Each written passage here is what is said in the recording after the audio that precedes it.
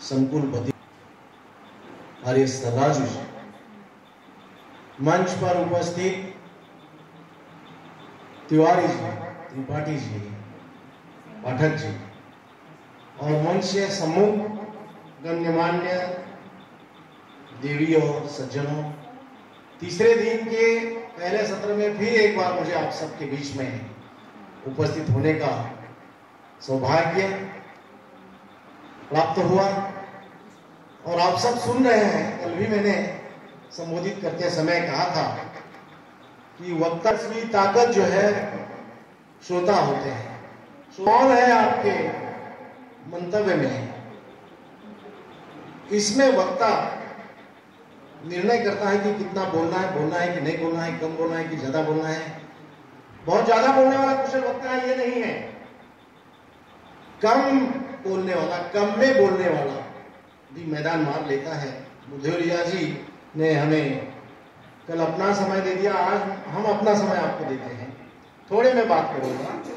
लेकिन सुनील कुमार जी का आग्रह है कि महाराष्ट्र में और फ़िल्म पर बात न हो तो ये कुछ छुटने जैसा होगा। और बिल्कुल सही है उनका सोचना। और आज मुझे अपनी बात केवल सिनेमा तक केंद्रित रखनी है। बात करता हूँ सीधा विषय में 120 साल से अधिक पुराना नहीं है हिंदी सिनेमा का इतिहास इस देश में। और मुझे ये गर्व होता है ये कहने में कि जो चित्र नगरी है और जो मेरी कर्मभूमि है कोल्हापुर कोल्हापुर का नाम जो है कोल्हापुर क्यों पड़ा वो कलापुर था, इसलिए कोल्हापुर। ये उसका जो कला लगे वो कला कोल्हापुर और सीधे विषय से करता हूँ कि बहुत बड़े नाम है कोल्हापुर सिटी में, सिनेमा की दुनिया के। सबसे बड़ी हस्ती के रूप में दादा साहब फाल्के जी का और बड़े बड़े पुरस्कार सिनेमा की दुनिया में जो दिए जाते हैं दादा साहब फाल्के के नाम से और मुंबई में आठ, नौ साल पहले तो 2013 में राष्ट्रीय संगोष्ठी का आयोजन हुआ था हिंदी सिनेमा पर जिसमें मैं वक्ता के रूप में शताब्दी हमने बनाई सौ सालों में, अर्थात लगभग सिनेमा हम जिसको सुसूत्रता के साथ सिनेमा कहते हैं, जब सिनेमा बाल्यावस्था में था, शेषावस्था में था तो वो नगरी कोल्हापुर की नगरी वहाँ पर गोलपट नाम की जो कलात्मक विधा था, पात्र आते थे और बोलते थे एक दूसरे से संवाद करते थे गोलपट नाम से, ये जाना फिर मूकपट, एक शब्द प्रयोग करते मूकपट। यानी छात्र पात्र केवल मंच पर आते थे और एक दूसरे की देख करके, अभिनय करते थे बोलते नहीं थे। मौन मुख होकर के अभिनय। और समझने वाला समझता था। जैसे इन दिनों में लघु सा एस एम एस वो वो मुँह पर जैसा हो गया। आदमी खुद से बोल रहा है कि किससे बोल रहा है? कभी कभी पुराने जमाने में आदमी रास्ते में जाते समय अपने आप से बोलता था तो बाकी लोग कहते थे कि पागल आदमी और आज वो कान में डाल करके बोलता चला जा रहा है तो लोग पुरानी पीढ़ी के लोग कह रहे हैं, ये भी उसी जमाने का होगा शायद। लेकिन वो तरह से मशीन से जुड़ा हुआ है, किसी से संवाद कर रहा है। तो मुँह पर गोल पर, ये सिनेमा के प्रारंभिक स्रोत थे और सबसे बड़ा योगदान इस क्षेत्र में घोड़ा वी. शांताराम का नाम किए बिना हम आगे नहीं बढ़ सकते और भाजी पेंडारकर जी का नाम किए बिना हम आगे नहीं बढ़ सकते और संगीत सूर्य केशव किए बिना हम आगे नहीं बढ़ सकते ये सारे पूरा निवासी और इसके पीछे मुझे गर्व होता है, ये कहते हैं, ये छत्रपति शाहू जी महाराज की दृष्टि ये वो राजा थे, इस देश का वो अकेला राजा जिसके नाम के साथ राजेश अब राजेशी का मतलब भूलिया जी, राजा होकर भी राजा जैसा व्यवहार नहीं करता, ऋषि जैसा व्यवहार करता। इसीलिए राजेश विशेषण, उनके नाम के साथ। इस देश का वो अकेला राजा अब ऐसा क्यों नहीं कह ये वाकई। और ये उपाधि जो है, उत्तर भारत के कानपुर में एक एक अधिवेशन में शाहू जी महाराज को दी ये अजीब बात है कोल्हापुर वासियों ने उत्तर भारत में जो है, जब उनका सम्मान किया गया कानपुर में तो वहाँ उनको कुंडी परिवार जो है, किसान परिवार से जुड़े हुए थे राजा भी जो है ये किसान परिवार से थे। और इसीलिए उनको राजेश अब राजेश ही कहने के कई माने हैं। विस्तार में मैं जाऊँगा नहीं, लेकिन कुछ चुनिंदा बिंदुओं को स्पष्ट करें।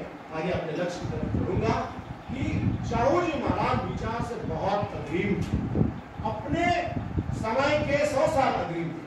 मुझे बताने में कोई हिचक नहीं है, वो इस देश के पहले अंतिम राजा थे, पहले और अंतिम, कि 1903 में मैंने आज से 119 साल पहले अपनी रियासत में 50 प्रतिशत आरक्षण दिया था।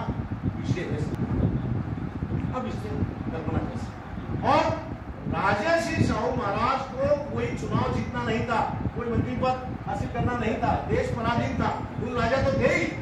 लेकिन उन्होंने शिक्षा के क्षेत्र में साहब, सराजू साहब, शिक्षा के क्षेत्र में जो योगदान शाहू जी महाराज का है, वो बोर्डिंग, दसरा चौक में आज भी विराजमान है। चौदह विभिन्न भारतीय बिरादरियों के जातियों के बच्चों की पढ़ाई की सुविधा के लिए छात्रावास पहले पहल, वो स्कूल में भेजने के लिए कोई तैयार, बोर्डिंग में भेजने के लिए कोई तैयार नहीं थी क्योंकि बोले हमारे बच्चे उनके साथ नहीं पढ़ेंगे, वो कह रहे उनके बच्चे हमारे साथ नहीं पढ़ेंगे।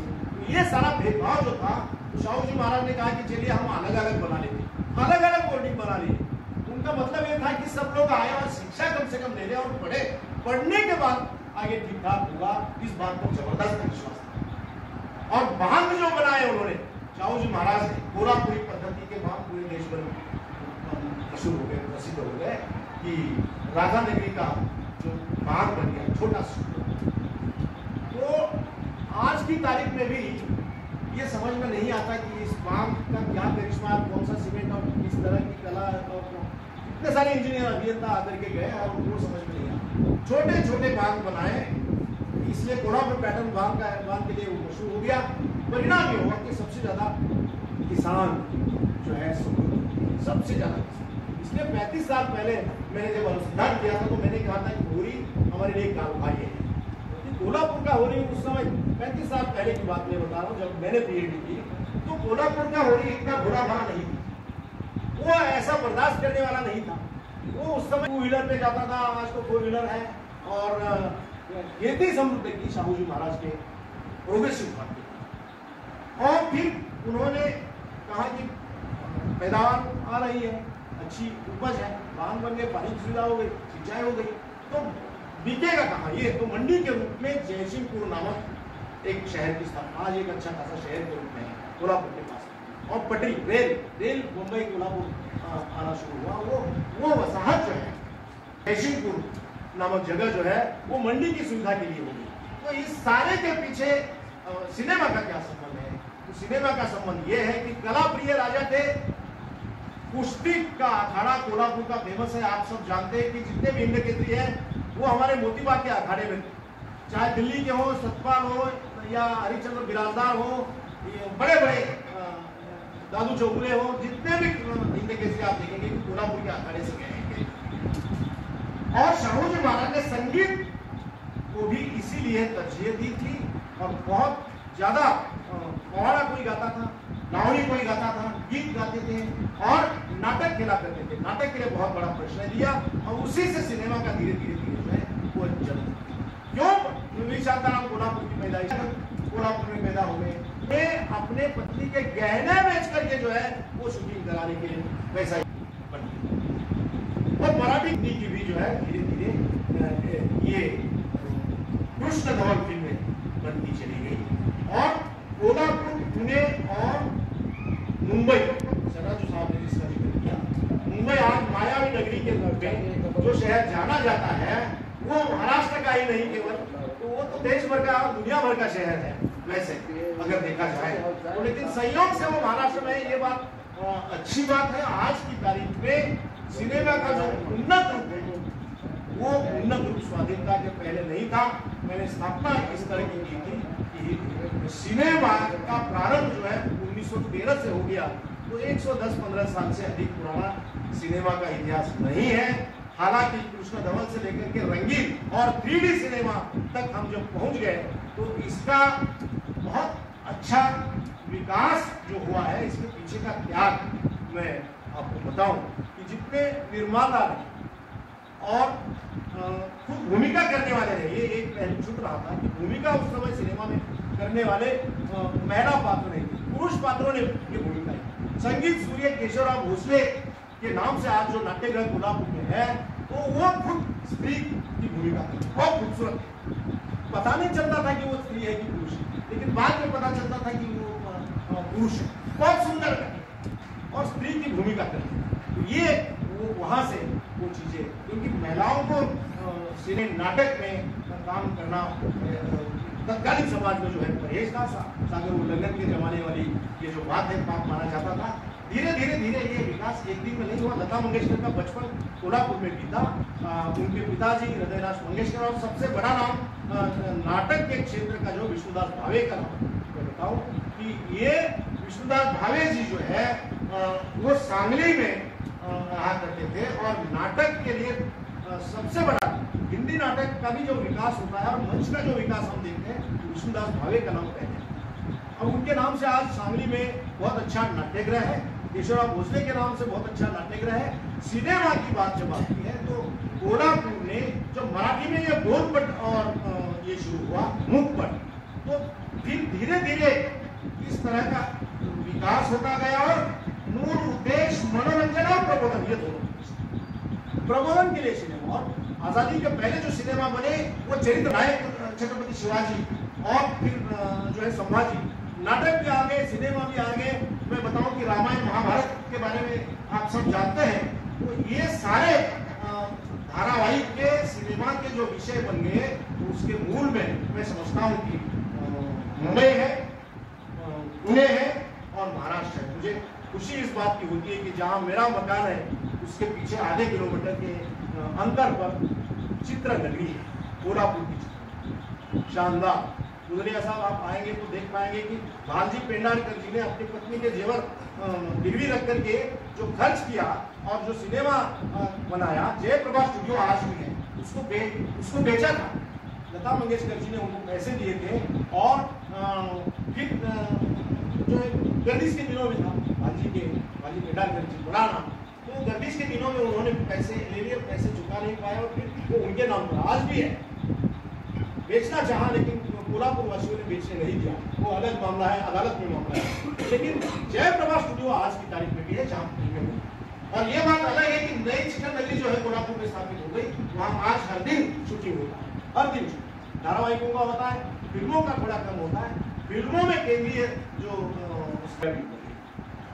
सारे कपूर परिवार वाले मुंबई में है। मैं बताऊँ कि बहुत सुंदर थिएटर अगर है, कपूर थिएटर अगर है तो मुंबई में है। हर दिन फ़िल्में, हर दिन नाटक, आज की तारीख में वहाँ देखने को मिलेगी। बच्चन परिवार मुंबई में है। और ऐसे सिनेमा के क्षेत्र में योगदान करने वाले खान बिरादरी और परिवार सब मुंबई में है। तो सिनेमा से जुड़ा हुआ हर बड़ा सेक्शन गीतकार हमारे मुंबई में से लेकर गुजरात तक आइए, मैं बताऊँ, मुंबई में। और ये सिनेमा का विकास जो है, स्वाधीनता की प्राप्ति के बाद पड़ता तंत्र ज्ञान ने बहुत मदद की और आज की तारीख में सिनेमा इतना आगे की ज़मीन नाप चुका है। मैं बताऊँ कि सागर उल्लंघन सिनेमा ने कब का किया? अपने दीवार फ़िल्म का जो डायलॉग बता दिया, ये संवाद सिनेमा की धरोहर है।